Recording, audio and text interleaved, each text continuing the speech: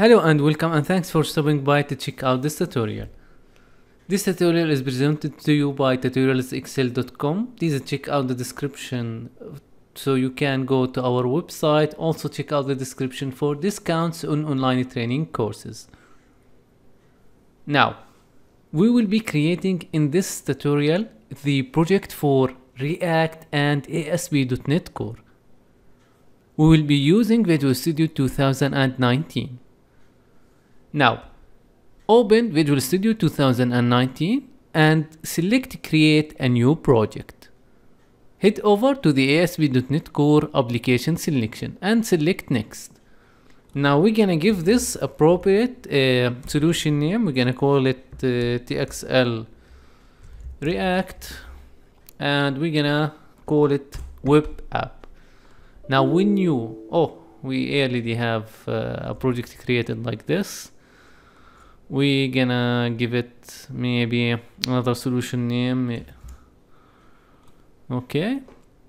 So now when we uh, create uh, this uh, project, we are presented with the option of creating a web application with React JS and React JS and Redux. Now, in case you are new with React, Redux is the uh, state store management for React. You can use it with, you can uh, remove it from React, but for sure, if you are creating an SPA, let's say for an e-commerce uh, site, you can use uh, React and Redux.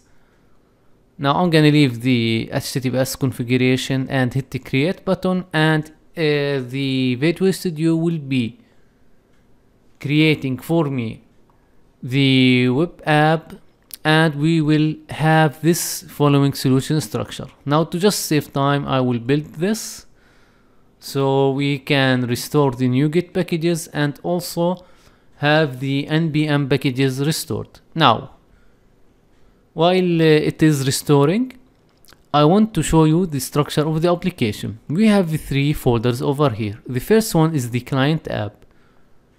This client app contains the code for your uh, React application.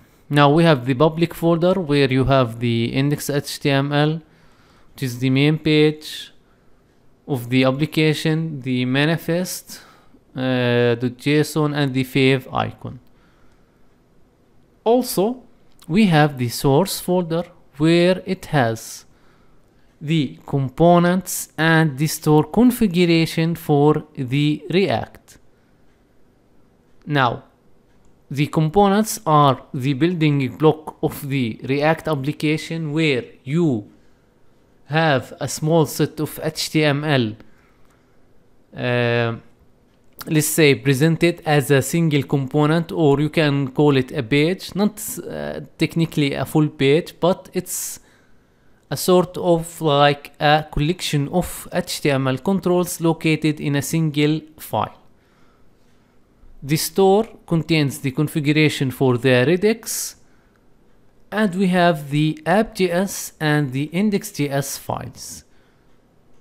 Now, uh, the app.js is the, let's say, the main file to control uh, your other components. The index.js is the uh, the starting point of the application where you configure your app inside your index.js. Okay, so here you configure your application. Notice like we are doing some configuration. We are calling the base URL. We are setting an initial state using a store, uh, elements, and so on. Now, we have the controllers folder, which uh, contains our own ASP.NET Core API controllers.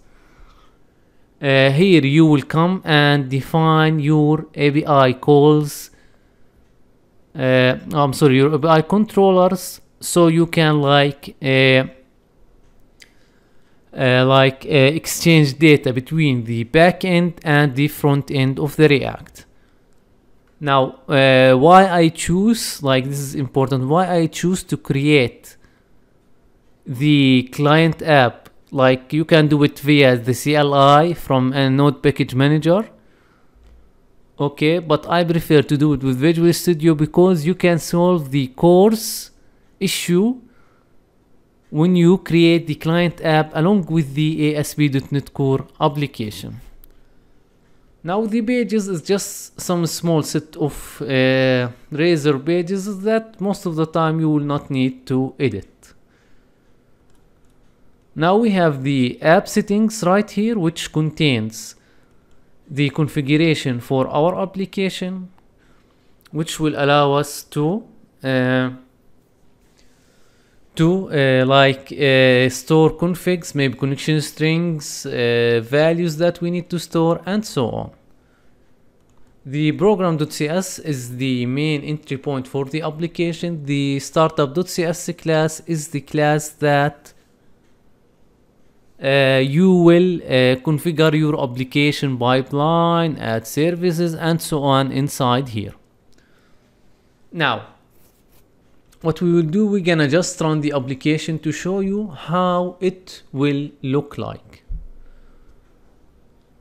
Now, at the beginning, it might be uh, slow running, but later on, uh, it will be like much faster. Okay. Now it shall be running now. Okay so the application is loaded we have the application up and running and notice that we can see some data from the API we have uh, the store running since this value is stored and also the values from the API is created. Now uh, let's close this and head back to Visual Studio. Now let's head over to the client app and expose it much deeper. If I open the home.js which is the home page of our application you will see with me we have this uh, constant and these properties. Now this is actually the HTML that you see inside the browser written with the JSX format inside the uh, React component. Now you are wondering now what is the JSX? Now the JSX is the way that you can write ASP uh, or I'm sorry uh, you can write HTML element inside the React component. Now it is essentially the same thing as writing HTML, no difference, but you can like do some different bindings to it. Okay, like if you come down here, if you hit the space, control and the space, notice that you have some different or some extra properties on each like let's say that on click this is the way that you define the on click event on an element inside React. You just come down here and add your uh, like onClick event. So I'm gonna remove this, save this. Now let's try to edit this a little bit. Maybe I wanna come down here and add another H1. The nice thing of Visual Studio that it has some autocomplete for the JSX now we're gonna say that my first react asp.net core app okay now uh, what I want to do I want to just remove all this def uh, default template thing. So we can have a clean HTML and rerun the application. Now a tip for you, you don't really need, if you are working like with the client app and you just some edit, you have hot reload enabled with your application. You could just simply come down here, keep your application running, add some JSX elements. I'm gonna call this will be the coolest ASP.NET Core app. As soon as I save this, notice that we have like the application reloaded right here. Okay, so you don't really need to on and off running the application. Now also the nice thing about Visual Studio this is the feature of debugging that has been enabled since Visual Studio 2017 and notice that now I can see breakpoints hitting uh, the uh, code inside my JSX files and like I can navigate it let's say that I want to go to the uh, count or counter uh, method and I want to add a breakpoint over here. Okay. I'm trying to add it on the on click method but it doesn't seem to be working okay now it's working. We can see the values. Notice that I can see the props right here. And we can see the values it change. Okay so this is some nice feature of Visual Studio where you can debug your client code instead of using uh, the maybe the developer tools of your browser which can be like really really MS and I struggle th with that daily on my job okay? Now also uh, what we can do let's actually stop this and head over to the fetch data component. Now this fetch data is uh, the one that it's connecting to the uh, to the uh, to the API and receive the data from the API and it does some rendering for us and uh, it's writing the data from the ASP.NET API okay. Now okay what else we can do so this is the client app as well. Now if I head over to the store notice right here inside the store this is the Redux code that increment and decrement the uh, value for me. Let me run just the application again for you and I will talk you now about one of the nice features and the thing that make me like React very much comparing other frameworks. Now if I head over to the counter and I hit increment, notice that we can see the state of zero and each time we hit, we can see the previous state. Now, Let's head back to the home co uh, component and let's try to inspect the element. Now if you notice with me we can see some plain HTML, nothing else like no more tags, no extra tags.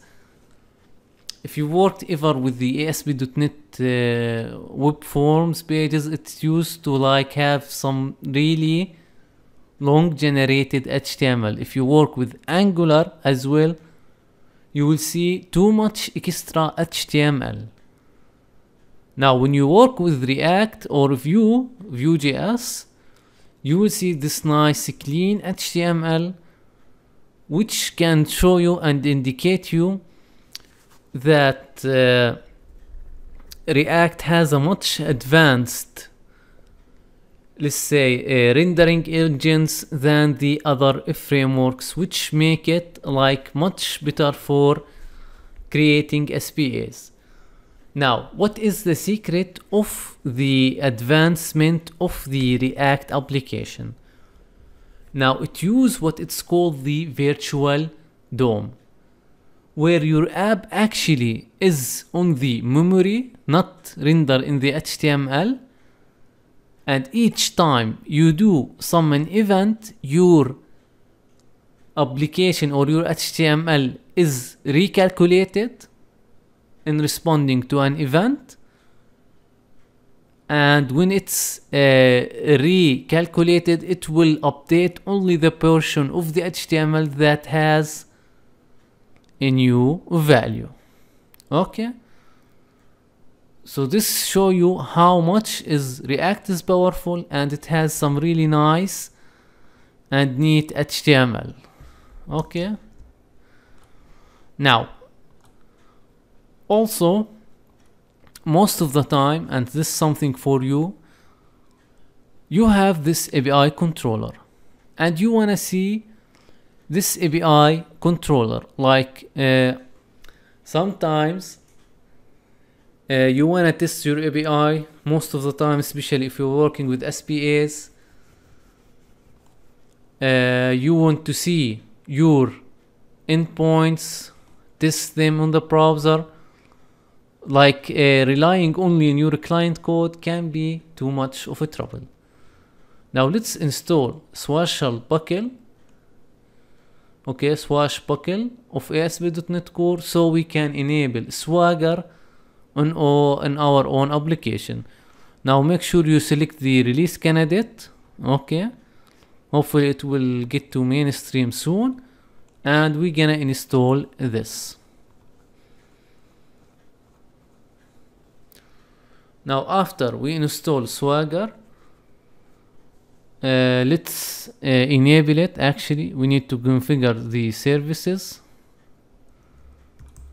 so let's head over to the startup right here.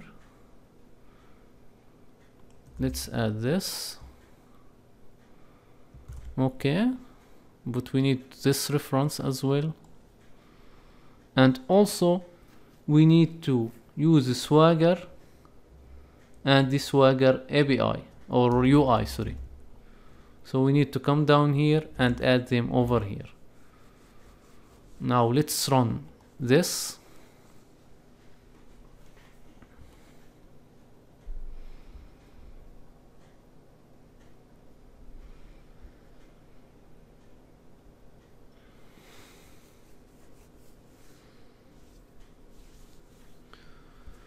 Now, to access Swagger, we need to type Swagger.